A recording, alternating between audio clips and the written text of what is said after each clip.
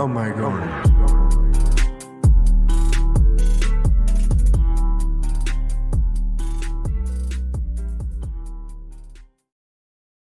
Hello, everyone. Welcome to Artifact number 36. I am joined by Jessica Schneider. She's a poet, critic, and novelist, and she also writes for the automachination.com website. Um, she recently released this book, Ekphrasm, right? It's based on French painters, right? Uh, some people watching this video might already know that ekphrastic poetry refers to poetry that is done uh, I don't want to say in the service of visual art, right? But it's done, let's say, based on a painting. One thing that uh, her husband, Dan Schneider, often points out is that a lot of painting poetry, let's call it, uh, tends to just sort of uh, uh, peter out in the sense that you know, maybe just simply recaps what's going on in a painting, which I mean, it's not very interesting, right? I mean, if you could just look at a painting, uh, uh why mm-hmm. do you simply need a description of what's on there? If you're going to actually write about it, you're going to have to do something separate from what's going on on the canvas, right? There needs to be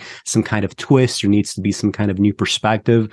And thankfully, the book ha- has a lot of this. And, um, of course, right, ekphrasm, right? Not only is it uh, uh, calling to term, uh, calling to mind that terminology, it also should be uh, calling to mind the word orgasm. So if you picked up on that, maybe you could clean yourself off for a couple of minutes, come back to this show. Um, but actually, as an icebreaker, I, I actually want to show um, maybe like a couple of like passive aggressive emails that I got from Jessica in reference to this show. Um, what? Uh, oh, well, okay. As an icebreaker, okay, we just want to make sure that that people stay with us a little bit. So when I when I give my notes, right, for any kind of show, they're very very long and detailed. I want people to know exactly what we're this talking about. What? This wasn't passive aggressive. All right, fine. It was just don't, directly. It was just directly aggressive. She she she she she writes, quote, you kind of go overkill on the notes. I don't even wait, wait, wait. This is even better. I don't even look at them to be honest. Okay. All right. So uh, basically, the show almost didn't happen because of this email alone. But I think maybe my the favorite part of this email, which came um, uh, afterwards when she finally uh, agreed to to send some notes over, um, she asked me, "Wait, did you order the book recently this month?" She was casting doubt that this book right would be in my hands despite the fact that now i own the physical copy and the digital edition. Um, you know I, I deal with so much bullshit in preparation for these uh, uh, uh, shows and not the least of it comes from the participants themselves. So anyway let, let's move on to uh, uh, uh, the show proper. So I guess the first thing is uh, when I was watching uh, the show that you did with Ethan Pinch, right? That's of the New House. I'm going to put a link to that show. You you did a show with him about a year ago or so uh, mm-hmm. on this book. Um, one thing that uh, you mentioned was that you know this is kind of like within the theme of uh, French painting. This is w- within the theme of like impressionism, but at the same time, like I, I definitely got the sense reading the poems here. You, you could have gone many different directions. And in fact, you do. I, I think one of the best things about the book uh, in the kind of like more, uh, I guess, meta category of writing is is in the fact that uh, there's a lot going on that's not merely just painting, right? There's a character here by the name of Landon, right, that makes several appearances as a kind of, I don't want to say a controlling figure. Maybe that's kind of overstating things a little bit, but definitely a, a mysterious figure that, uh, on the one hand, uh, you know, by the name and, and other uh, features of the writing, seems to be a male. In other situations, it almost seems like it could be a, a woman. Um, I'll, maybe I'll talk about that poem in particular.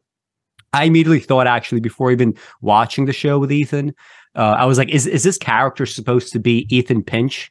Um, and then in the show, it turns out that uh, I guess that was uh, at least somewhat in your mind.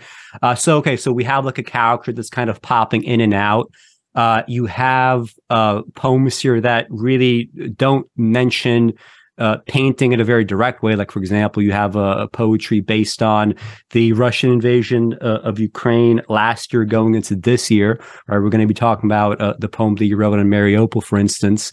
Um, uh, mm-hmm. You could you could have easily thrown in, you know, post impressionist painters.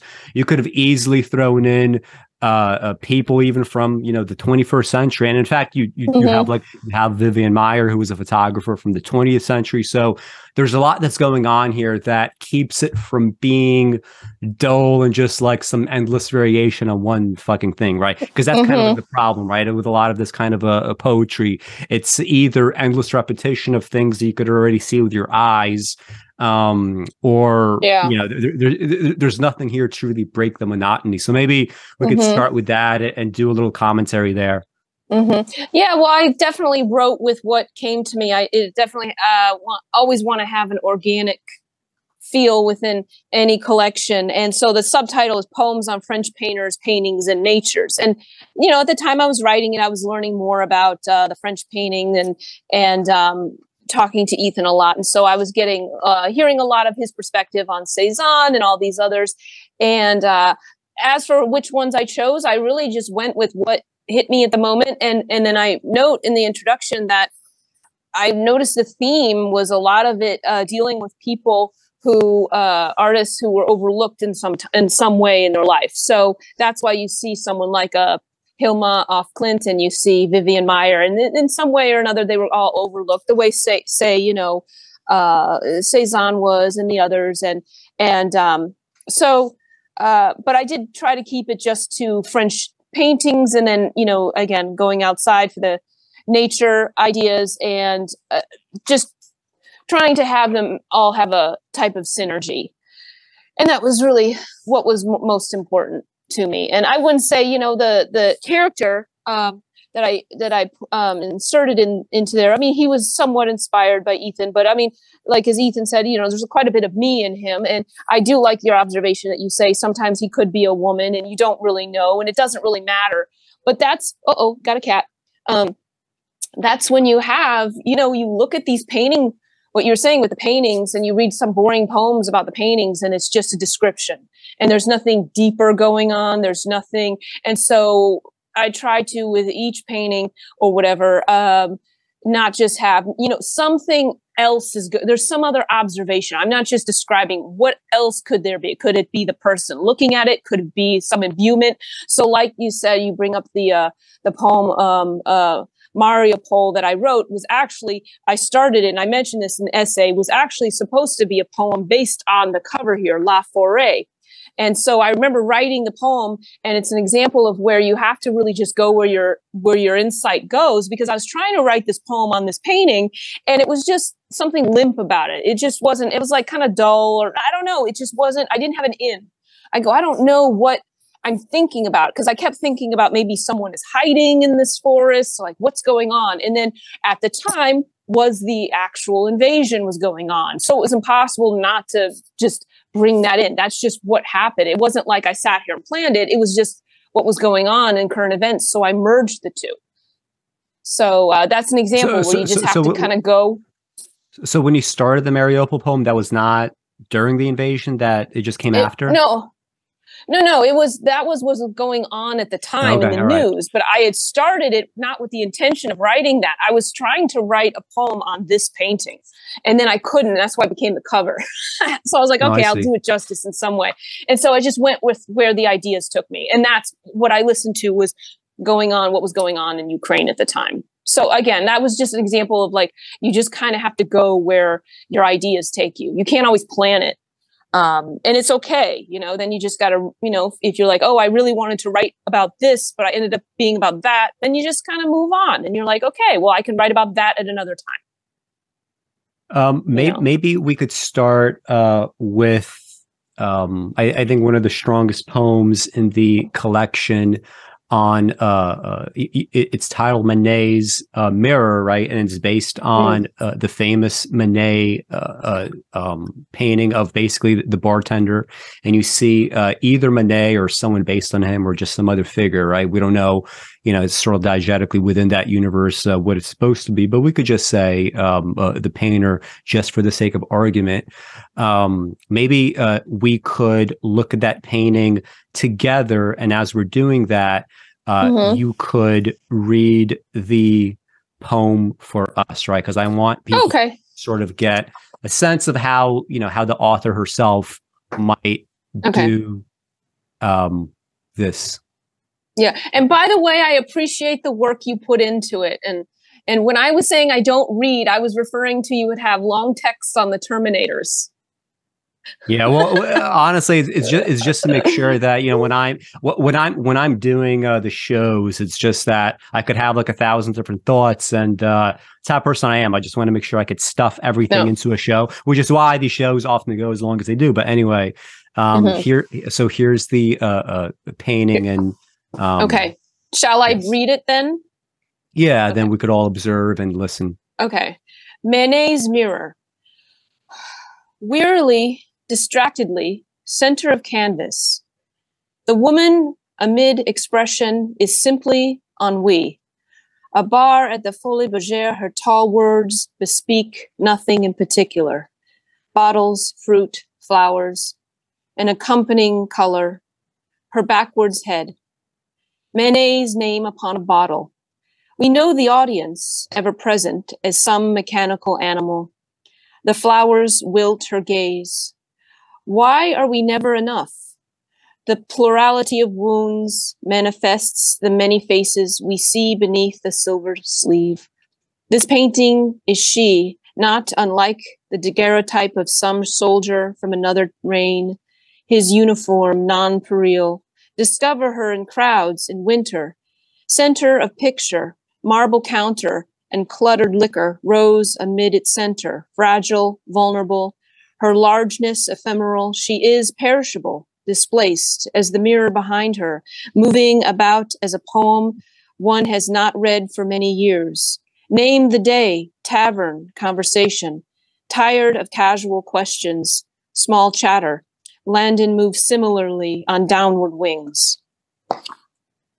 Right. So just to uh, uh talk about some of the things that I noticed, both in the painting and also uh, in the poem uh, as you were uh, reading it. Right. So, um, and also, again, just to serve as a contrast between maybe what other people might do, right, when they're doing writing on on on painting, right, or of a similar kind of nature. So, the first line, wearily, distractedly, center of canvas, right. So, um, we're characterizing her face, right? We're characterizing uh, uh, maybe uh, what she's doing, how she feels in that situation. Uh, there might be some subjectivity there, right? Some people mm-hmm. might argue about uh, uh, the specifics of this or that expression, but I, I would personally agree with this kind of characterization, right? And just kind of like, you know, from the get go, right? You could sort of say right away that, oh, look, um, here we have a, a take that is ready, perhaps maybe a little bit subjective, right? It's not merely a recap of what's in a painting, right? But we mm-hmm. are, you know, we are we, we are sort of uh, from the very beginning, right, centering her. Uh, mm-hmm. And she kind of looks like she's almost looking at you in a way that's kind of through you, almost like she's spacing out a little bit. Like maybe if you're the customer, she's like, okay, you know what I mean? Like maybe she's been doing this mm-hmm. for several hours and she's tired. And then right. I've also I also have heard, however, um, not to go too much on the art, but I've heard arguments that that's not the mirror, that that's maybe another person in the back because it wouldn't line up and stuff like. I've heard that argument as well, but you know, we'll take it as for what it is. Well, it's an interpretation. Yeah, even so, in those kinds of situations, right? Let's say that in a kind of technical uh, sense, like it wouldn't uh, totally make sense. Um, mm-hmm. The the fact is, uh, you know, uh, you can credibly make arguments for either of those two. I think more so for this, this is a mirror, but the fact that you can make another kind of argument does not a take away from the fact that you could also make this argument that it isn't mm-hmm. in fact a mirror, right? Um, and you know, I think that's the thing that most people would go with. But anyway, in the middle of the poem, right, there's this uh, line that I want to uh, focus on. Uh, it's the flowers wilt her, and then there's mm-hmm. A line break gaze right um mm-hmm. so i mean that's an example of uh, an enjambment that's very well done right uh you have this mm-hmm. idea that uh, flowers wilting it could be a little bit of a trite image right but specifically mm-hmm. it's flowers that are wilting her right um and it's not just wilting her it's kind of like oh look this you know faded you know, this faded uh, rose on a, on a cheek, right? To use like a Shakespearean cliche, right? Uh-huh. It's the flowers wilt her gaze. Now, as we go on, why are we never line break enough? Right. And that's a question. Mm-hmm. Uh, another good use of enjambment because if we're sort of staying from the interpretation that this is a woman that is kind of tired. I mean, immediately when I see mm-hmm. this, like as a man, right, you know, picking up mm-hmm. cues from a woman, right? She looks uh, pretty uninterested in uh, whatever this guy has to say. Um, and uh, she might very well be thinking, all right, so this guy might be looking at me in a very kind of hungry way. Uh, maybe at that point, she simply wants to be the bartender, right? Meaning her mm-hmm. object, uh, her objective there is to simply, you know, fulfill someone's orders and not necessarily. I mean, I understand that if you're going to be like a, a female bartender, uh, uh, you know, like uh, I don't want to say that part of the job is like you know men look at you, but you're going to be around drunk fucking men, right? And this is you know this is simply mm-hmm. a, a situation that you're going to encounter. Um, but she might, you know, very well in that situation be thinking, you know, why are we never enough, mm-hmm. right? Like, why can't we simply, you know, be mm-hmm. as we are, do the job? Why do we have to be, you know, uh, some kind of object in any kind of way, right? It doesn't have to be necessarily sexual, but just like an object, uh, uh, meaning like not something of your own use, but a use for someone else, mm-hmm. right? And and mm-hmm. you know, th- this is something that often would not be done uh, in uh, in in poetry of this nature. Um, and even later, right, there's this still kind of this like a little bit of an interplay with perhaps some of this like sexual reading, where near the end of the poem you have uh, uh, the following line: um, "Name the day, tavern, conversation, tired of casual line break questions, small chatter." Right, casual, you know, almost as if, mm-hmm. you know, like a casual sex or something, right? Tired of this, tired of that. But here, right, it's not even, you know, getting to the route of that. Here it's even less exciting, right? It's just this casual, oblique, pointless chit you know chit chat that yeah. kind of goes nowhere that she has to also deal with for for much mm-hmm. of her life um anyway that's about what i have to say about yeah uh, and then this. and then it ties ties back to the like the landon character and you got to remember the landon character is a painter himself so it's about you know he's a stand-in like you know so he he also it's imbued that he also kind of feels similarly about you know mm-hmm. someone that say is a painter and trying to get maybe he's getting his work known we don't we don't know necessarily but but that's an example of where, you know, it's a poem and I took more than what you're just seeing. I, I put some kind of possible thinking she what might what might she be feeling what might she be thinking and that's more than just you know a woman at a stand and she looks at you and blah blah blah and behind her blah, you know just a blanket you know boring description that's no fun mm-hmm. so exactly. so uh yeah, and and, and yeah, like uh, at then I should have mentioned that th- th- this introduction of um uh well, it's not Landon does appear, I believe, earlier in the text as well, but just this kind of idea, right, that we're going mm-hmm. to sort of break apart the sort of universe uh, of the painting, right? We're going to take this out of the 1800s and now you know, perhaps that's another thing that we don't exactly know what the time period is. Uh, there's some evidence that Landon is a you know contemporary of us. Mm-hmm. Uh, it mm-hmm. could be you know uh, uh there's some pieces where it seems like he's almost like a figure from the uh, 20th century. So uh, who knows? But you know that's well, he goes so and he gets his vaccine in one day. So he, yeah. get, he get he has a poem where well again I was writing about stuff that was was happening at the time too because I believe I started this in like March 2021 I, I, it took me like 14 months. I wrote it over the course of 14 months. That wasn't the only thing. I was writing yeah. a lot of reviews during that time but yeah. um yeah that's that's where because i think uh, you know i mentioned i wanted to sort of think about oh should i do a novel blah blah and i was like no i just wasn't being pulled there. So i i, I went where i was pulled and you know so i was i was pleased with with uh where I went. And I've thought too, if I follow up with a further connect collection, I'd like to do more uh, Manet paintings, maybe make him the star because um, he has so many good ones, and especially when I look at great ones, I should say, not uh, when you the essay that Ethan did right on um, Manet, which is all those paintings, and there's so much complexity there.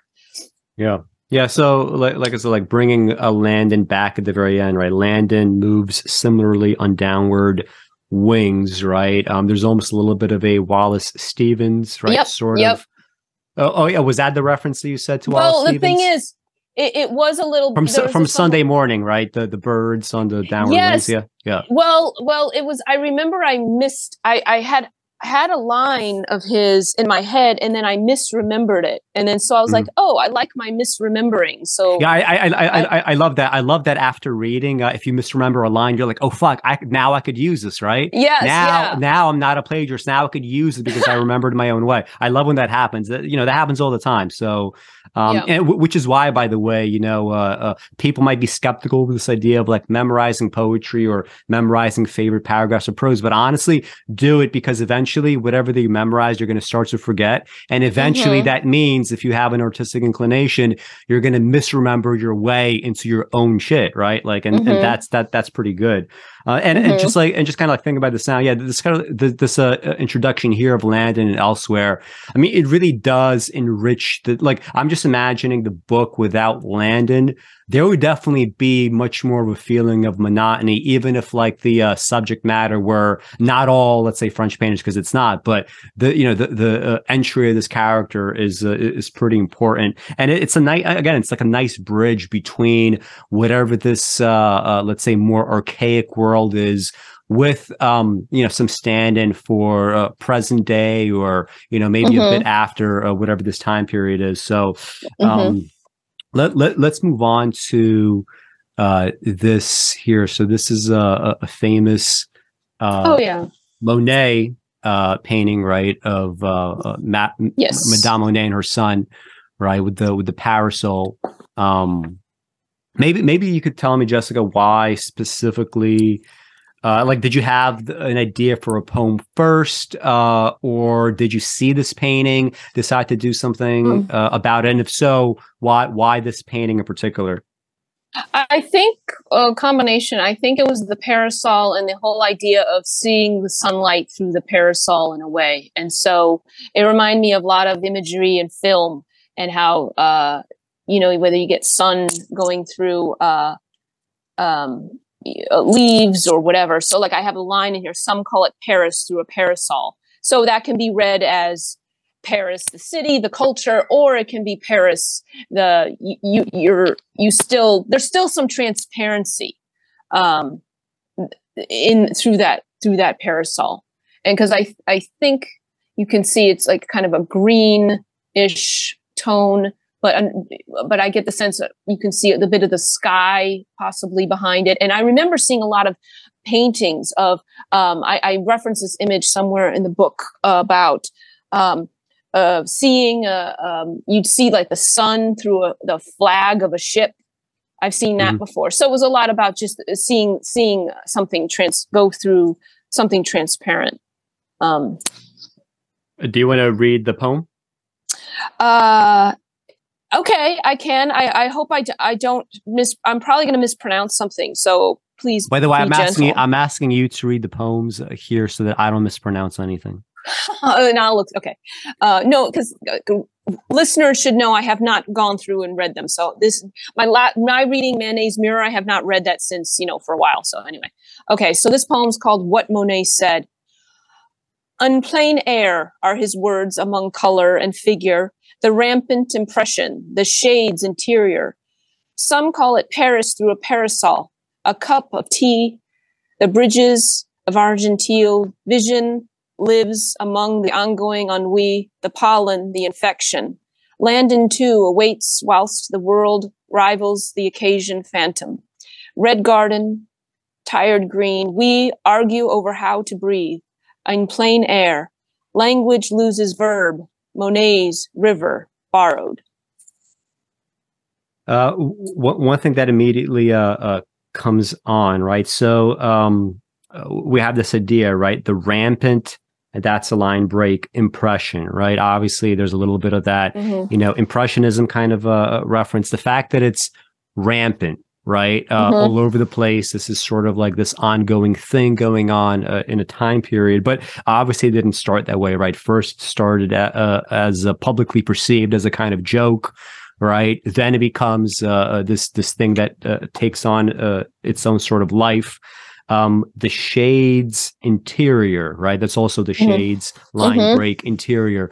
And this is also something not uh, th- that people won't necessarily think about all that much, right? This idea of there being some sort of a internality, right, to a shadow, right? Uh, shadows are normally thought of something that is external to something like some kind of figure or whatever. But here, right, a shadow being interesting uh, in and of itself, it having some sort of interior life, it has some sort of interior role, right? Mm-hmm. Um, later on, right, we have uh, this uh, uh, this idea of the pollen, the infection, right, and uh, it's also kind of uh, unexpected, right? There's also a line break a- after pollen. Right? This idea that yeah, I mean, he's going to capture right flowers, right? That's a, a mm-hmm, common sort mm-hmm. of impressionism theme, obviously, with the you know interplay of light and, and flowers, right? It seems very uh, not logical and natural right? Um, but instead of being specifically referenced as the flowers, right? I thought it was a smart uh, decision to say pollen specifically because when you you know say pollen, like the image that we would have now mm-hmm. is you know something floating th- through the air, right? Mm-hmm. Uh, the idea of anything floating automatically to us now might have this association with you know passage of both time and space right? Impressionism specifically has this feeling of uh, not only just you know we're capturing space but we are very much capturing time. If people watch our earlier artifact with me and jill parish on leonard leonard shlain's art and physics right? One of the arguments that leonard shlain makes for uh, the greatness of art in general but specifically for impressionism is right? This kind of idea that they are prefiguring some of the discoveries in the broader sciences or just ways maybe of like looking at the world before they're actually articulated elsewhere in a more prosaic way, whether it's science or in some other fashion. Um, mm-hmm. And here, you know, pollen captures that in a way that's kind of modern. I don't know if there's any like talk of pollen or whatever in any kind of meaningful way uh, back then, but um, we would associate this with this, you know, passage uh, across yeah. space. Um, but also after the pollen, it's the infection, right? Uh, almost this idea, well, a, a, couple of things, right? If you're specifically thinking about the 1800s and the sort of kind of, uh, maybe we could call it the golden age of diseases, right? You have on the one hand, cities uh, coming to the fore in this kind of uh, extreme way for the first time which brings you know mass infections. It also brings obviously new discoveries uh, in controlling uh, uh, infections, but also just artistically, right? This idea of impressionism as being an infection in and of itself, right? This idea, this constant spread of an idea. Uh, was that, by the yeah, way, like some some of your own thinking as you were writing that here with these well, lines, or what? In some way but you know honestly sometimes i just go for the most obvious because i was sitting there thinking and i look at it and i was thinking the pollen the infection. I was actually thinking this i'd probably have a lot of allergies just because you see the little it looks like you can see the wind things are going to be blowing in the air. And and and uh that's the surface level but again you can interpret it deeper deeper than that. But um that's that's what um somewhat what I was thinking. Uh, ha- arguing how to basically breathing, breathing in this this air. Um, it looks like the painting is moving too. That's another thing. Yeah. When you look at it, you know, it's it does it definitely has a very. It doesn't look static in the least. You can just see like her dress is moving. Her it looks like her hair is moving. It's almost like her hair is part of the cloud.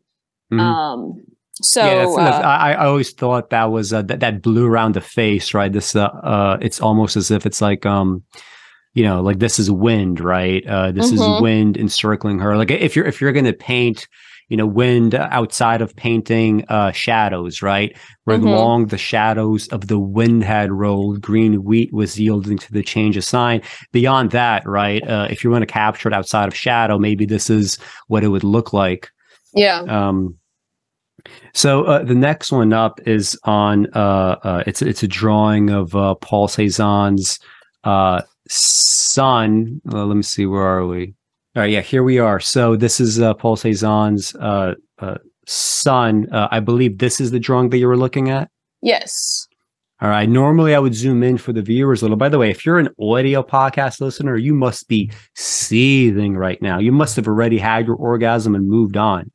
Um, but if you are watching this, maybe it would be a good idea, right, to uh, sort of keep your eyes peeled uh, as we are uh, going through the paintings. Um, so this drawing, I would I would zoom in, but at the same time, uh, for whatever reason, when I go to the site, the the picture itself disappears. So we're just Oh. gonna uh, we're just gonna watch it like this. Um, so w- what exactly was it uh, about this painting that made you, uh, or rather Hmm. this drawing that made you want to write about it? Well, it was interesting because when I was reading about Cezanne, he was rather a grouchy guy, but he really loved his son.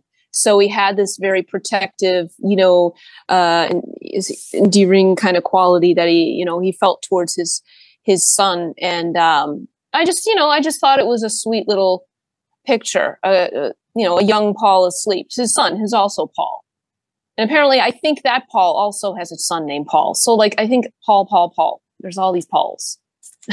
okay. Uh, let me let me actually read uh, the poem myself, right, to break up some of that monotony, right? Okay. We're gonna, we're gonna stay with the Landon theme a little bit here. Uh, so it's titled "A Young Paul Asleep for Cezanne's Son." Perhaps the boy beneath his elder reef, when carved into gentle slumber, wills this nocturne as tender as his father, the painter who occasions the day lit fields under his dark hat and brooding. He is, aside the full fallen moon, wherein this star laden pillow upholds his child's head, faithfully through the noon, intrusive window, loud bird, the grave amongst most hills we expire.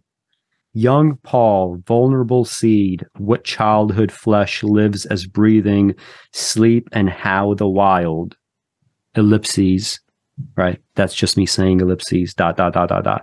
Paul, right, is how it ends, Mhm. right? Its own Mhm. sort of standalone line. Mhm. Um, so I guess, I guess the first thing I'll mention is that clearly there's a lot in this poem here that uh, is not even physically present, right, in any kind of way in the drawing, right? For instance, loud bird, right? There is no Yeah. loud bird, right? This is simply your imagining, right? He's Yep. in a room. Most likely there is a window somewhere in this room. And even if there isn't a window in this room, you know, there is an outside world in this room by definition. So uh, Mhm. you, you could, you know, guys, look, you don't have to be scared. You could throw some of those details in. That's going to be perfectly fine, right? If you Mhm. want to do poetry of this nature. So maybe you could do a little bit of analysis of uh, your own writing here. hmm Uh, well, it's, it's interesting because, like, like I said, he he has a very tender feeling towards his son. But then I started then to think about. Uh, then he go as his father, the painter who occasions the day lit fields under his dark hat and brooding. So he's always he's going out there. He went out in the fields and he's painting, and then um, so it's the contrast. He's going out, he's painting, he's kind of frustrated because you know people don't admire his work or whatever. And then as a contrast, he has this you know tender kind of drawing of his son um, you know the the pillow upholding his his uh, his child's head and you know through the night and then um, you know faithfully he does it all night through the noon intrusive window maybe the sun the sun coming in or or whatever. Um, the loud bird uh, thing, things outside the it's it's sort of like you get this kind of quiet moment but outside when he goes out and paints you hear the birds you hear more ruckus interaction. Um, so it's a contrast between you know lives as breathing sleep and then as as how the wild again that's what the outside is. It's sort of you know that's the outside is the wild the untame and then inside here you have this very tame sleeping uh, boy. So it was just i thought a good contrast of how he felt about his son versus you know how he behaved out outwardly towards other people Yeah, and even like specifically within um, you know, kind of the realm of the drawing itself, right? If you're going to characterize it, describe it in some way, uh, to the extent that I mean, you're going to have to do some sort of recap, right, with any kind of ekphrastic uh, uh, uh, poetry. Um, at the same time, right, you might want to do something what Jessica did here, right? So uh, let's just look at the beginning again a little bit. Perhaps the boy beneath his elder, there's a line break, reef when carved, line break into gentle slumber. Right. So, uh, much more in drawing, I think, than even uh, a lot of painting. Uh, well, maybe this, this might apply also to something like Van Gogh's painting when you see just like a ton of like highly, highly textured physical paint. I don't know. I don't know if people really have seen this. I mean, you could sort of look at this in, uh, you know, if you go to like Wiki Art or something, or like Google art, uh, and you really zoom in on some Van Gogh paintings, for instance, you really see how physical it gets. Uh, when I was in Amsterdam and I was at the uh, Van Gogh Museum and seeing some of those paintings uh, up close, you really do appreciate the the sheer kind of physicality of the paint, right? That you don't necessarily see in a two dimensional image, especially if you don't mm. have like access to a very high resolution one. Um, but here, like yeah. you know, in, in in drawing, right, uh, it, it makes sense, right? When we're talking about this uh, uh, carving, right? This uh, uh th- this uh, face is almost carved in, right? Because you're going to need, right? Obviously, in drawing, you're going to need this kind of like stark contrast, stark relief, right? Whether it's in coloration or how uh um how fat maybe like the line is, how dark the line is, that kind mm-hmm. of thing, right? There's definitely this this uh, sense that is being carved in. Um, so you know, to the extent that you're going to do any kind of like little recaps or whatever what's going on in in a drawing, um, to the extent that is happening, just please mm-hmm. make it you know more interesting, right? Make it make it sensual, right? We're all yeah. very sensual people uh, uh, on this channel. Um, so so if anything, please us, okay? So anyway um maybe we could uh, move on to then okay. That's what i wrote. This is what i was talking about. This is the poem i wrote actually about that painting but it, you would not know it by uh unless i was telling you.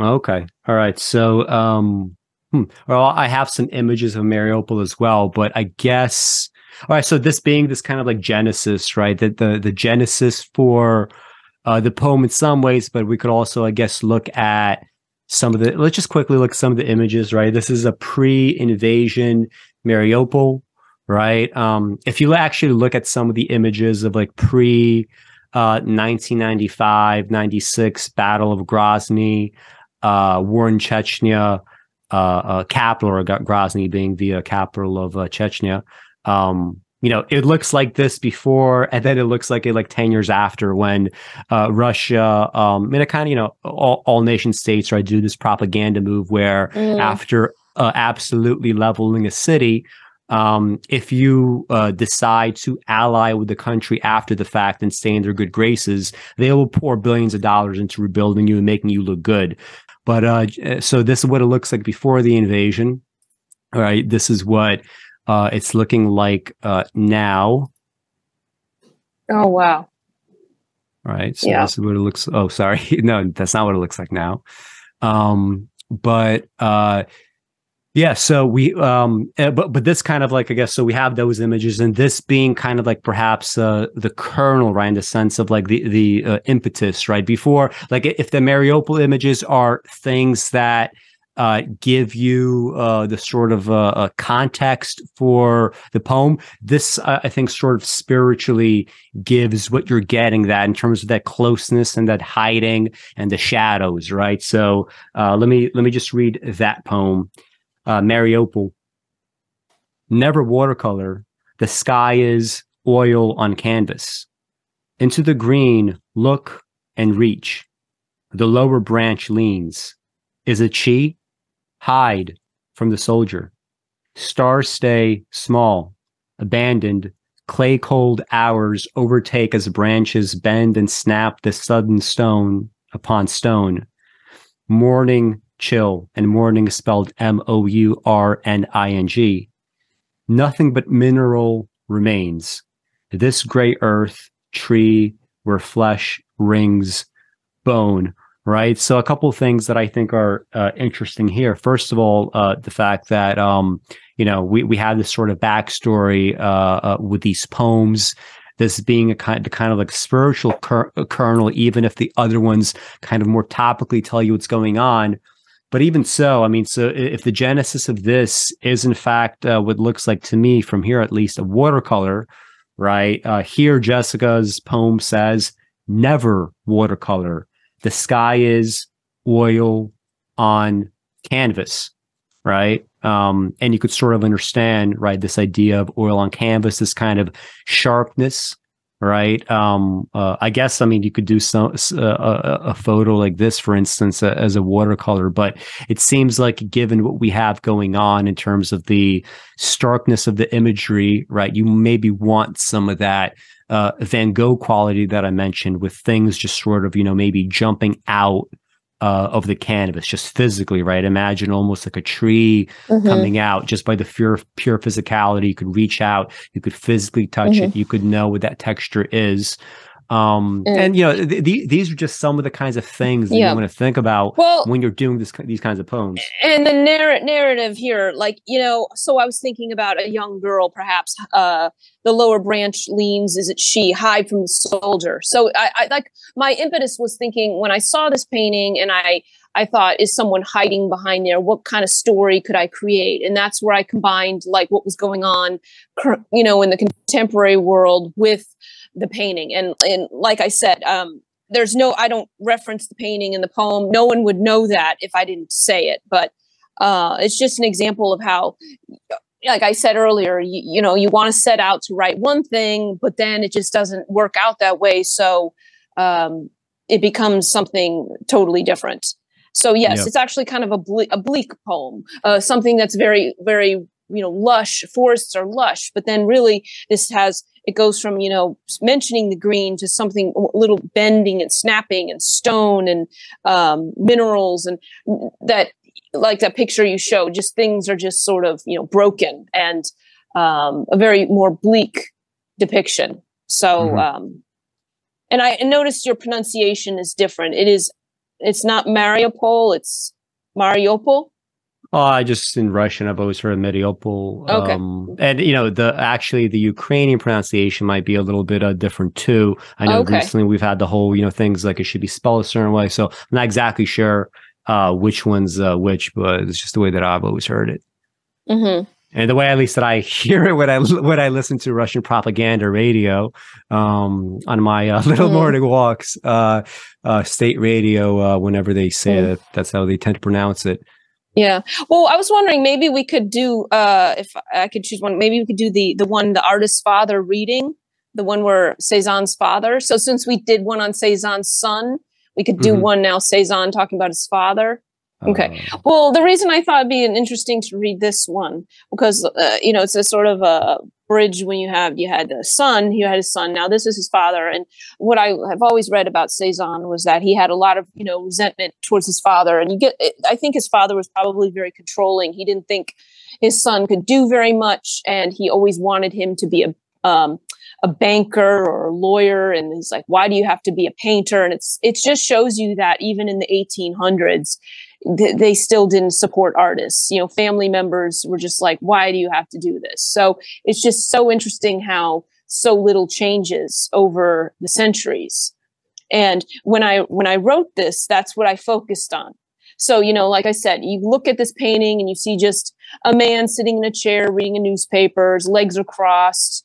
Um, and there's a painting in the background. It's probably, you know, it looks like it's pears. He's probably one of his sons. And that's all you could say about it. Or you know i go in a little further and i tell the narrative a bit about th- his son and and his feelings towards his father and uh, how they didn't you know mesh well on these they they uh, butted heads i suppose. Mm-hmm. so that's where the narrative i took. You want to read the poem? Okay i will read it. Okay so this poem is called uh, the artist's father reading L'Événement, 1866. Dear Father, you are getting older. As mid afternoon wearies, just where have those legs gone to? Cap and shoes and ankles crossed. Somewhere the wind dissolves into chair and you appear to leap, seated, a figure forms as you labor the gravel that grows the floral patterns that almost become part of you. Shadows garden the gray shades of misunderstanding. Green hues move where human colors befall a painting of a painting aside some red door. It is a pair. It's better to become banker than painter, you said. Father, I do not begrudge. Image matters. It is a momentary triumph, a small grove at the end of one's concrete heart. Never approach. Turn the page whilst I wait the rush of your hurried hum. You know, one thing that first I appreciate about the uh, painting is um, I'm not exactly sure uh, at what stage this was in Cezanne's career, whether at this point he already started uh, maybe like uh, uh, you know winning his father over, like whatever it might be, or if this was like a, a forever thing in Cezanne's biography. I'm not exactly sure too much about his biography, but um, just w- with that bit of context, right? Uh, when you look at the painting, you start seeing his father. I, I mean, like his father, right, might be wealthy, right? He might have uh, mm-hmm. leisure time, right? He might be, you know, this kind of like upper crust person at the same time, when you look at this armchair, uh, and uh, you know, like whatever the flower pattern is, right? It's now just kind of this series of smudges, and uh, with the color altogether, right? It is, you know, it is very much like you use the word concrete in in, the uh, um, you know, poem, right? Uh, it's it's uh, uh, it's not in reference to the chair, but it, it, could be, right? I mean, just kind of like you can implicitly sort of see where this is going. It's almost mm-hmm. as if mm-hmm. like he is this kind of like stone figure, you know, this yeah. archaic, this kind of like archaic figure that's sort of sitting there forever. It's this kind of like totally, you know, almost like ruined chair. You know, if anything, mm-hmm. like a lot, a lot of this concrete, you know, might look like very much like it's covered in bird droppings, right? Mm. Yeah. Um, well, he doesn't look very comfortable to be honest, because yeah, he's not leaning back. He's not leaning back. That's what I mean. He says, I, I, say he appears to leap. It's almost like he's trying to look to get up or, or not, but he's not leaning in it. It's like his legs are crossed. So he looks relaxed down below, but up above, he just, um, it doesn't look like a very comfortable position because he's just sitting there like that. And, and so I just think that's an interesting angle he did. I mean, mm-hmm. um, it says a lot kind of, I think, you know, about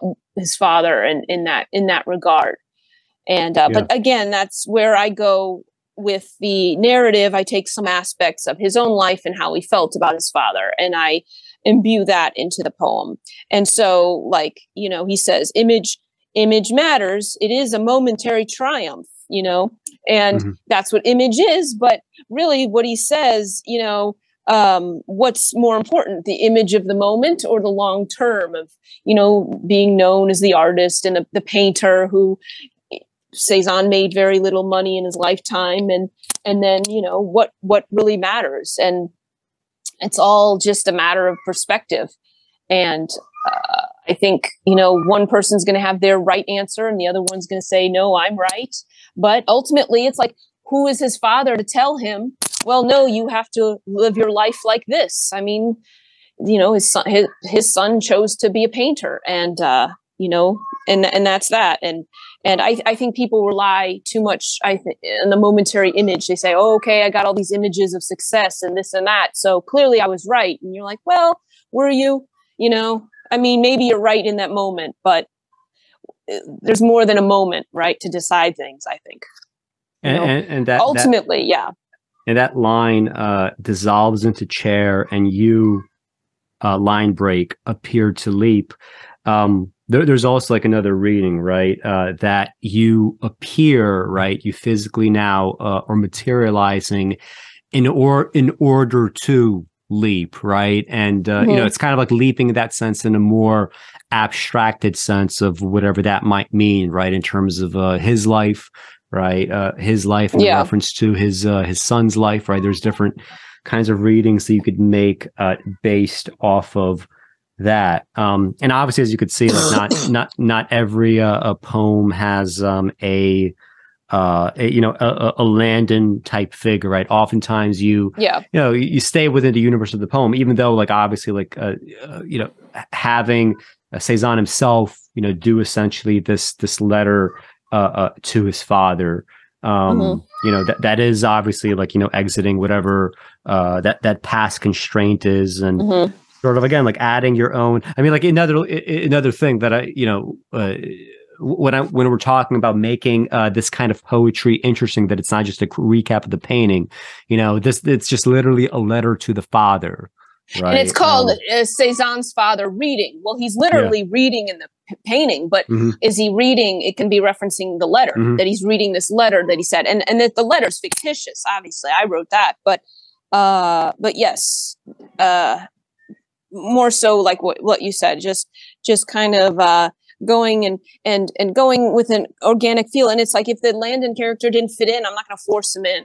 It just it didn't you know it, it's just where where it was needed where he was needed or whatever. And um that's another thing to keep in mind. Like don't try to shoehorn everything in simply for a pattern or simply because of this or that. That's like when i wrote this i mean that's why i said poems on french painters paintings and natures. And not all the paintings. Most of them are french all of them are most of if not and then um you know paintings Hilma Klint is obviously not French, but that that falls under a different category. And I just kind of went with you know what what uh, made that impression upon me at that time. So why don't we uh, move on to this uh, painting by uh, Camille uh, Pissarro? Um, there's actually okay. two two versions of it that I want people to see. Right here's one here's another i'm not exactly sure because you know oftentimes uh, when you look at different paintings uh, they, they do look uh, pretty mm. different uh, even if it's the same painting depending on how it's captured yeah. but this almost seems like a different material right this uh, one mm-hmm. here is just much more uh, textured here um, i mean they both appear like they're watercolors but um, this one kind of like much yeah. maybe much more so but the, i the I, one I, that that's the one I based it on, like in terms of the image that I recall. That the one that's know, up right but, now. Yeah. Yeah. Um. Yeah. So let, let, us say with that, and also I, I prefer this one anyway. I just want people to uh, uh, observe some of those differences. And by the way, audio podcast listeners, Spotify, Apple, Google Podcasts, Podbean, wherever they you are, um, it's not too late to just switch over to the video um, and stop seething, right? Stop seething as you're going on your walk, thinking, "Fuck, I'm missing everything," because you are, right? So, or, you know, you know what, you know what? Finish the audio, then rewatch it on on YouTube as well. Um, yeah, so uh, maybe we could talk about uh, this a little bit. Uh, do you want to okay. do you want to read the the the uh, yes. poem first? Yes, I will read it. So this one uh, is based on this painting, and again, I haven't looked over it, so forgive if I stutter a bit. Okay. Voices, voices, violins. Landon marvels Pissarro. Aware that voices can falter when juxtaposed aside another, similar can be said of color. Blue beside green can alter the eye's internal creature. Perception. Is it a cat that leans in to smell the flower, or a bird flying out some higher order? A decade older and patient with his follower that too soon he came to admire. You are a greater painter than I, he spoke to Cezanne, thus rendering himself lesser. The landscapes of Monet and Renoir remain eerily similar. Yet, what of your shadow, Pissarro, your grace and craft, understated and eloquent, perhaps? Your kind words, a painting is not someone similar. The horse and carriage remain.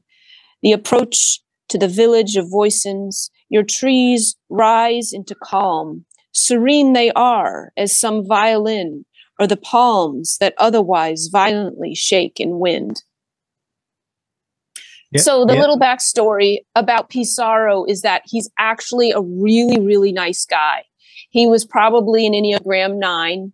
He was a very calm, um, kind-hearted person. He's one of the few people who could p- uh, put up with uh, Cezanne's quote prickly personality, and he had, you know, he was mo- you know, he had no problem saying, "Hey, you're a greater painter than I am." Like he wasn't uh, ostentatious like that, and so um, he. I was paying him some due because for a long time, I, you know, I, I think Pissarro is quite a good painter. I, I, don't think he's at the highest level as the others, and I think he knew that. Obviously, he said that to Cezanne. It's noted that he said that. Um, but he's he's a very like I'm, I'm evoking his calm, the serenity, and then uh, as a violin or you know or the palms now this could be tree palms or hands that otherwise violently shake and wind so he, uh, he's a bit of a contrast to the artistic personality he did not have that and um, so so that's sort of the backstory about that well, did you uh, intentionally uh, choose this painting because of the word uh, voisins? Because I'm not sure if uh, you picked up on this, but when I was looking this up, it seems as if it means neighbors. Oh, like the yeah. village of neighbors. Well, but but but I mean, of course, that that that idea, right? That warmth uh, corresponds nicely to what you hmm. just described. Um, even like you know within the poem itself, right? There's like allusions to things that you could sort of take away in that way, you know. Yeah, and the title is obviously very Wallace Stevensian like. It's a nod to Stevens. There's a lot of nods to Stevens throughout this whole collection. Whether or not you see it, I mean, that's just you know, obviously he's someone who's a, a paint. Uh, I almost said painter, painter of words. Um, that I, but I was like, it gave me the idea of the title. So even before writing the poem, I say, oh, this would be a good title. And so um, you know that's that's where i where i went with that. And then again another example using some biographical stuff using what could be happening in this painting. I mean there's another angle. You could have taken what's going on in that you know carriage or the horse. Is it a couple you know just sitting in there calmly? Are they arguing? And but given that it's pissarro i would you know likely think it would be more of a calming soothing kind of quality. Mm-hmm. uh, but um, so that's just just another type of uh, just a contrast from from some of the other painters. Uh, do you do you want to talk about uh, Viv- Vivian uh, Maier a little bit? Okay, I could do one. So I have a handful of poems that I, I wrote on uh, some women artists, and Vivian Maier is one of them. And uh, those who don't know, Vivian Maier is was a uh, photographer who was discovered after her death. They did a documentary on her called Finding Vivian Maier, and basically all her thousands of photos were found. And she was mostly doing street photography, and her photos really do a lot of them look like painters. She uses a lot of um, she captures real life moments, um, and uh, she, you know, she just has this. Uh, very you know like i said a very active kind of street quality to her to her work. Um, and and that's what i was um, what what i was just wanting to write about her. I was i always wanted to do and and she's also known for doing like the title of the poem is self portrait she did a number of self portraits and uh, i actually i really enjoy a lot of her self portraits some of them are more interesting than others. But she wasn't she just showed she wasn't afraid to um, you know, show herself. They all say, "Oh, she was a recluse," and yeah, I mean, she was.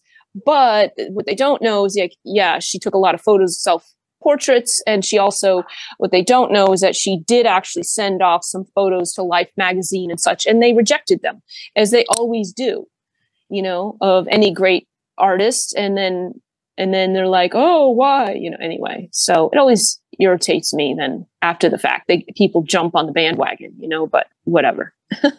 yeah, I'll, I'll, add some of the pictures uh, of her um, later on as uh, things are scrolling, and maybe we'll uh, uh have some of these scrolling images uh, as we're reading the poem. Right. So it's called Self Portrait for Vivian Maier, right? And self portrait, obviously, she, uh, uh, you know, she uh, she had different kinds of photographs, including self portraits. Mm-hmm. If you look at when I when I did the photography show, uh, the first one rather with with uh, Joel Parrish, who himself is a photographer, right? He mentioned how her own style of self portraits, um, you know, have now become you know pretty trite in the hands of tons of like modern photographers who are just sort of like you know throwing stuff together. Mm-hmm. Um, right? So this self-portrait right uh it could you know it could be almost as if jessica herself is uh looking at a self-portrait that uh vivian maier made and is after that or it might be a self-portrait uh, meaning of uh the poet herself. Um it could be various you know combinations uh, dipping in and out of different kinds of meaning like this. Mm-hmm. um right so that's uh, uh you know you that's another thing right? You always obviously want a multiplicity of uh, of meaning. So, self portrait for Vivian Maier, Small doll, memory frills the gentle hush of rain. Cascading temperatures promised drop and yet do not. No one cures the pithiest gesture, falling almost tender upon a face.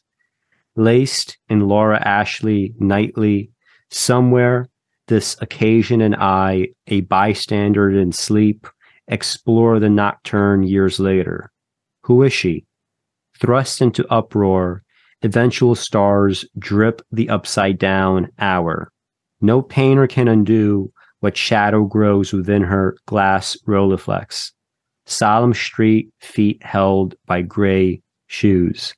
Um, obviously, you know, touching upon uh, some of the elements of, uh, um, you know, of, of Vivian Maier herself. Did, did mm-hmm. w- w- was she wearing uh, Laura Ashley? No, clothes? no, no, no. That is me. That's that's imbuing myself, but also I had an image of there's that one photo where it's like a little girl with a, I think she's like in a car and she's got looks like she has lace on, and so that was just uh, my own thing. But mm-hmm. um, yeah, I have actually a Laura Ashley nightgown. So uh, that's where you say talking about myself. I kind of yes, I do kind of write myself a bystander in sleep, you know, and then um, but uh, th- that's where it could be kind of read multiple ways.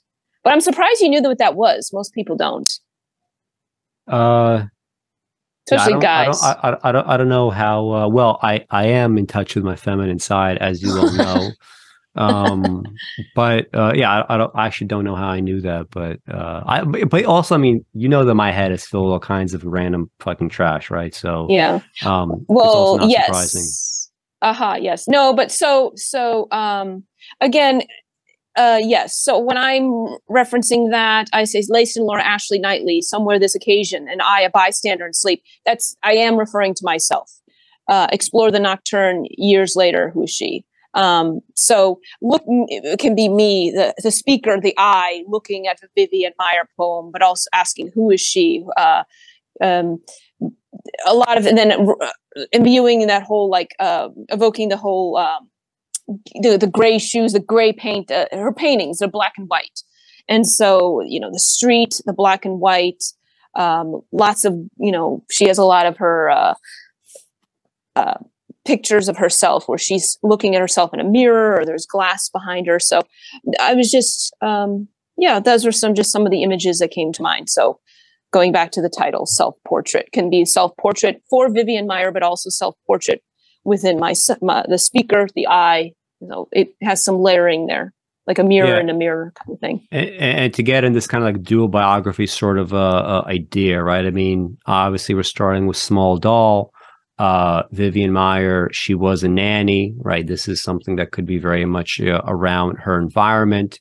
Um, you know, this idea of small doll, uh, you know, like a classic reference, right? Something like, you know, Ibsen's uh, A Doll's House, right? This idea of uh, a woman being nothing more essentially than than a doll, right? If you are a, a, great artist, right, and you feel somehow shafted by society, right, you could easily um, imagine yourself being perceived in that way, right? Uh, a, a line like cascading temperatures promise to drop and yet do not, right? This could be uh, a childhood sickness.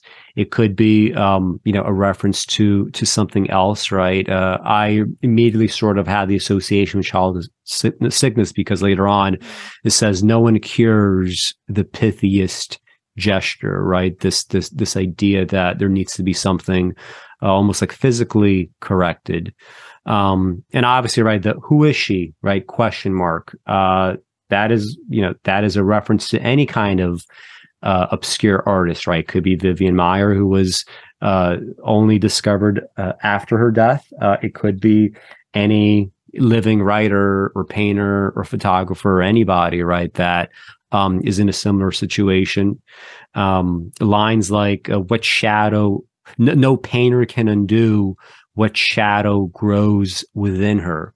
Right. Uh, either you know you you could consider this a kind of like you know, I don't, I don't, I don't want to say it's like a diss uh, to painting, right? But just this kind of idea that um, even in the future, if there's this kind of uh, adulation and you're not around to witness it for yourself, um, you might be, you know, you might be happy at the fact that it's coming, but if you don't get to witness it, uh, you have sort of lived your life therefore, right, uh, uh, without that that kind of yeah. experience, which is always a well, negative.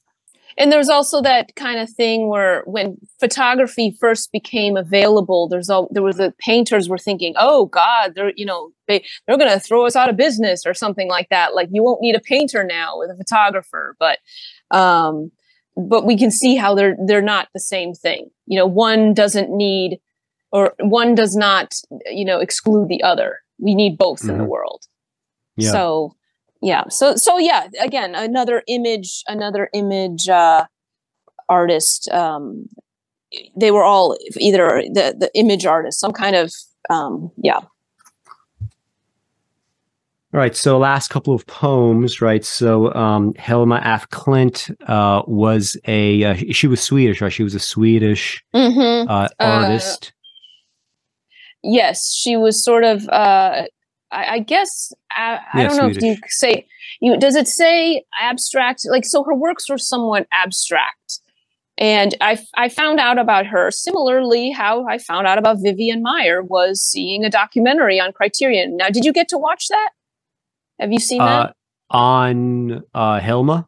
Yeah, it's on. Um, I, I, don't actually. I don't think so. I don't think so. Okay, so that's where that's where I watched it, and I thought it was really uh, an interesting uh, documentary, and it was mostly I really thought her Swan series was very interesting, and how over time they get become more and more abstract to the point where they just like look look like two circles. Mm-hmm. you know sort of rolling in together and that's kind of an example of where something that's a series I, I think is really interesting because when you take it into a context you're like oh that's really interesting but on its own it might not seem so amazing kind of thing mm-hmm. uh, so yeah she has she has a lot of really interesting and then she used to supposedly she'd do these huge canvases and she would do them on the floor and she'd do them barefoot. And um, so yes she was another one who kind of got discovered after her death and and that sort of thing. So again if you notice a theme in this book it's a lot of people who are overlooked. Gee i wonder why i connect with that. Um what, what, what do you think about? Because uh, I'm not sure if this was mentioned in the documentary, but I I do know that in her life she did say something like after her death, um, she wanted. Shit. All right, this, it's not going to let me do it. All right, um, she did want to.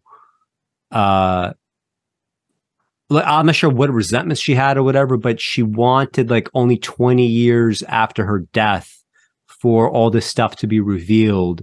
Um, mm. And I, I, found that to be an interesting uh, detail simply because, you know, maybe she did feel that if she were somehow uh, like totally ignored, right, in her lifetime, maybe she understood, okay, well, if I'm ignored now, there is probably going to be some sort of lag mm. between my death to, you know, going back to this idea of the Leonard Shlain uh, kind of like model of art where uh, the artist presages wider discoveries in and about the world by you know at least uh, a couple of decades or more um you know I, mm-hmm. I am just thinking like did she think like all right it, it, might take a couple of decades for people to appreciate this uh, whether it's like you know the, the, the actual kind of nature of the contribution or as, uh, as simple as mm-hmm. you know mm-hmm. like with the recent death of a bruce ario right um this idea that you are dangerous, you're harmful while you're alive. But after you're dead,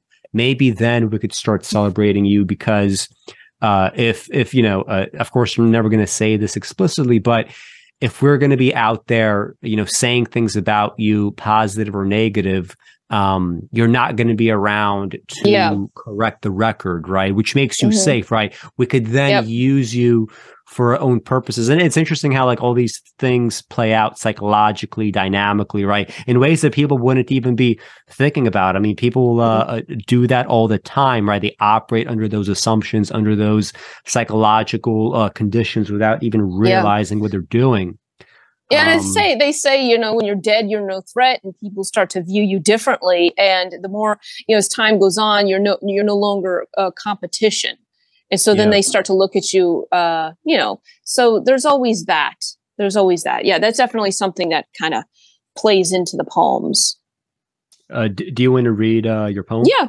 Okay, so this poem, um, as Alex mentioned, is on Hilma af Klint, the painter, and she was a Swedish painter. So her, excuse me, this title is called Her Sweden for Hilma af Klint. Too nebulous, they said, upon sight of her swan series. Laid bare, perhaps her neck is delicate, circular, or rather, might it lean in to thirst? How to shape and slide across water, Become the bird now marred by some other eye, she pieces, wing to wing, her Sweden, where from afar appears predatory. Youth is arduous, even memory contains questions. The garden imposes imperfections and galvanizes leaf by prayerful leaf. This blue, ill got moon, upholding nocturne, she descends to glide, brush the floor, Canvases do not include circumference and nor in circumstance conform.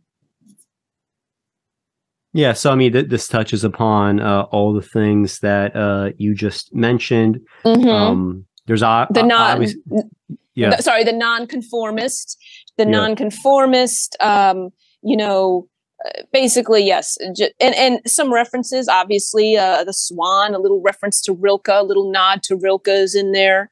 Um, but yes, I, I sing upholding nocturne. She descends to glide, you know, brushing the floor, meaning she is on the floor. Literally, she painted on the floor many of her pa- big, large canvases. So it it it kind of um, plays out pretty factually, uh, but um, but yes, it is about sort of you know doing something different and um, uh, the, the, whole circular idea of the swan and how they not just literally their necks but as as if when the series goes on they actually do meld and they become like a big circle. They become like a like if i recall like two colors just melded together which is really interesting you know and as i said in context that really that really adds something versus just alone um you know so yeah it was like that one yeah, and I mean, looking for strategies right here for uh, people that are watching this who might be poets uh, themselves or trying to be poets.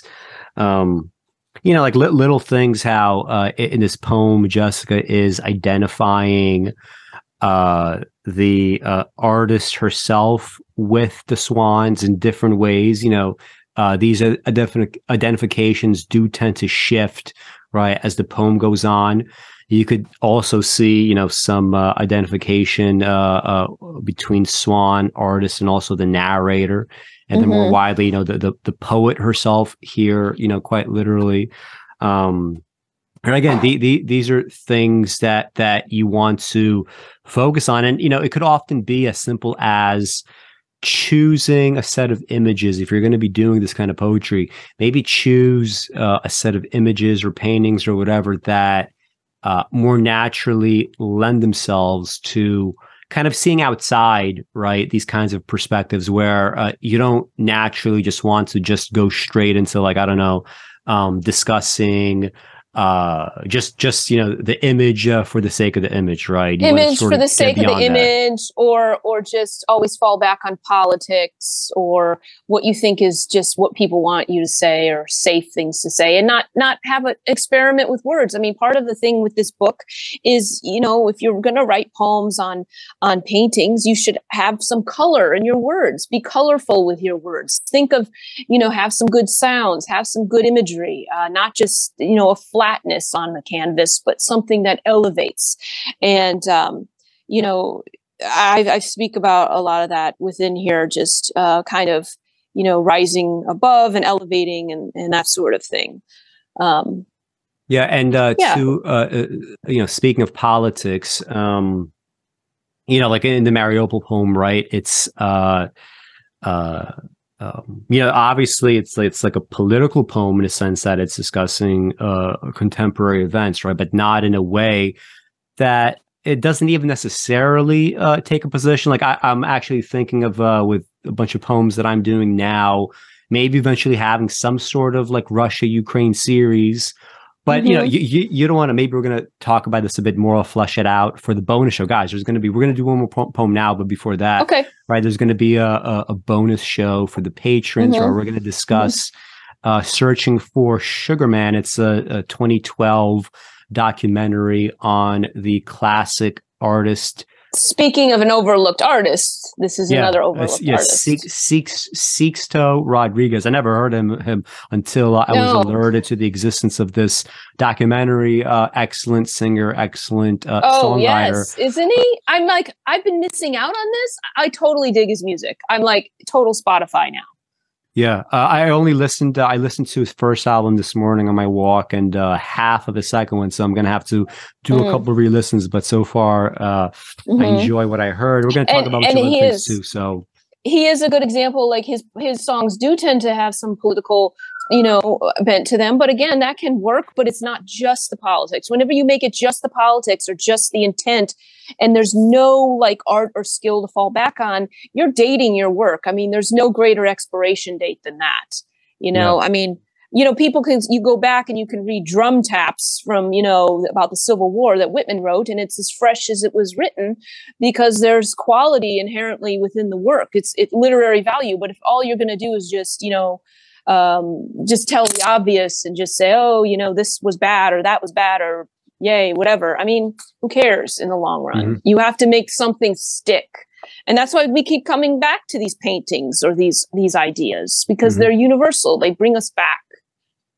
Yeah, so uh, we'll talk about that. We'll talk about um, maybe some uh, some of my own poetry that I'm working on, some of the stuff that you guys have been seeing on this channel, some of the stuff I'm going to do later um mm. more uh, uh we'll we'll always need a few jessica center topics so we'll do some of those as well um yeah i'm, I'm gonna i'm gonna start littering the little passive aggressive snipes to make up for the email what listen listen it's fine it's fine this is entertaining right you, like that's the thing you, you you don't see like you don't see uh enough bickering you know, between artists publicly, right? You're not supposed to do that. The only type of bickering that you see between artists right now is um you know it's shit like someone does a twitter thread like actually this young adult writer she's actually very racist and here's why right that's that's the extent that you get and it's not interesting there's no actual psychological dynamism there outside you know here's one social climber uh, fighting to the bloody death uh, with another social climber. I mean, who cares, mm-hmm. right? It's the same yeah. old perennial theme. So anyway, to close this out, we're going to do a, a final poem um, one of the last poems in the collection, right? It's not uh, based on any uh, painting. Um, it's titled Before the Artist. Oh, um, okay. I'm going to do that one. Okay. Yeah. Yes, and, I mean, and, yeah, it's yeah, before the artist, right? I mean, just like immediately just think about uh uh the title, right? The all the mm-hmm. like just in the context of the book, right? Before the mm-hmm. artist. So what what can it mean, right? It could mean yeah standing physically before an artist as you're painted. It could be before the point of becoming an artist, right? There's different, I'll always think about titles as uh, potential variations in ways that are unexpected. You always got to do mm-hmm. that. So maybe mm-hmm. you could you could read yeah. So I was going to say this poem is actually based on a real picture of me. So um, I don't have the picture, unfortunately. I didn't think to. It's it's just a, okay. Basically, it's a picture of me and I'm holding my cat and I'm nine years old and I'm wearing my school uniform and I go, oh, this is interesting. And um, so you have now, now I'm writing a poem about a picture about that was taken of me. So here's myself. Um, anyway, so before the artist, unpeace, this uniform forced into wear, stripes and all and wrinkled from the day I am nine and will remain into eve, worn much akin to an apron when no one is looking. Years later, someone asks to leave. Another under, undervalued night arrives. Find me. There are many dwelling into occasion. And uh, so when I was reading this, uh, um, immediately, you know, some of those uh, attentions uh, uh, sprang to mind. First, the title that I mentioned, right? The two different ways you can interpret it. Jessica's telling us about uh, this being based on an image of her.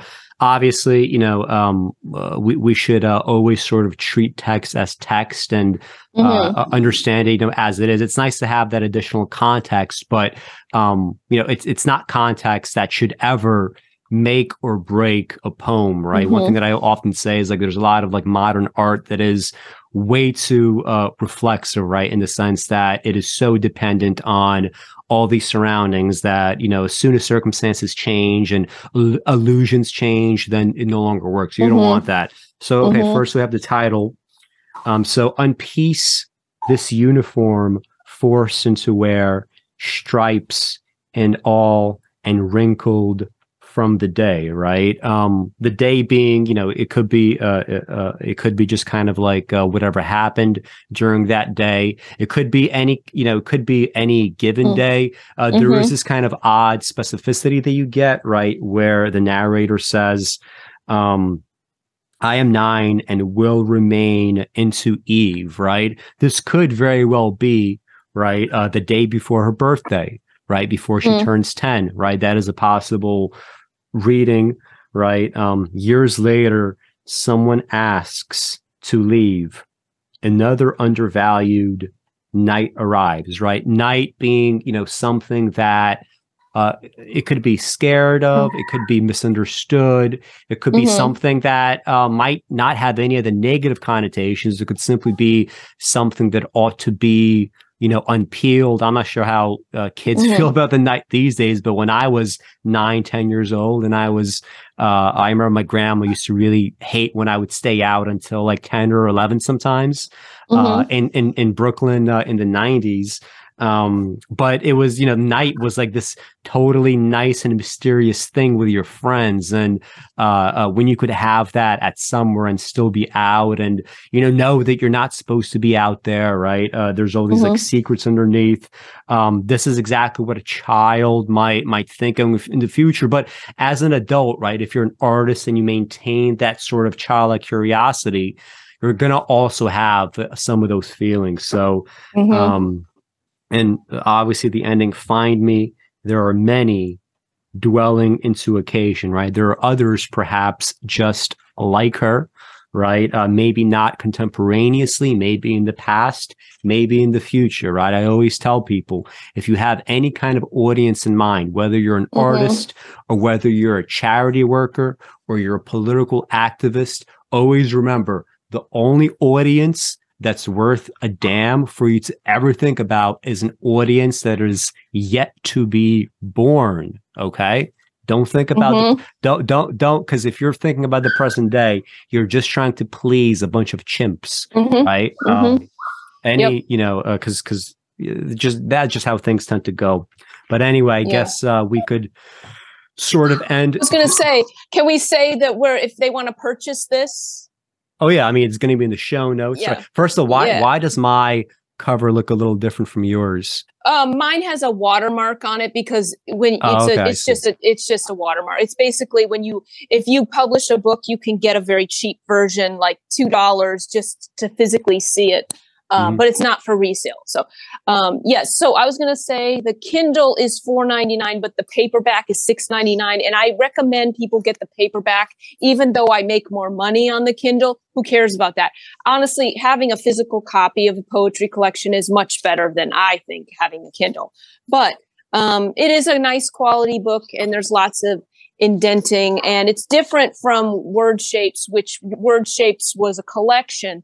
So it was a you know a comp- 10 years of poems all together and but this is being a book. So this goes more in a synergy interdependent on each other more so than that collection. But again they're different. So uh yeah and like hopefully i'd like to you know someday finish another finish more ideas for this kind of thing and um, see where it goes. But yes, I was like, what? How come I just right now saw a thumb go up?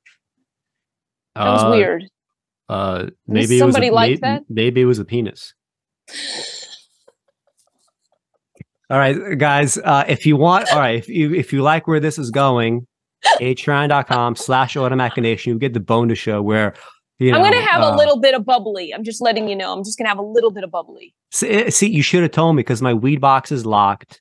Uh, It's Oh. not. It's Just- not. It's, not just a little opening until bubbly. later. It's it's it's not All it's not hot. It's fluffy. All right. Um, So, so we're gonna. So, okay. So, uh, patrons, uh, uh, if you're a patron, you're gonna get this bonus show. We're gonna have a bunch of stuff to talk about. It might be more or less, I'd say, around the the length of this show. So, thank you for watching. Like, subscribe, and we'll see you again soon.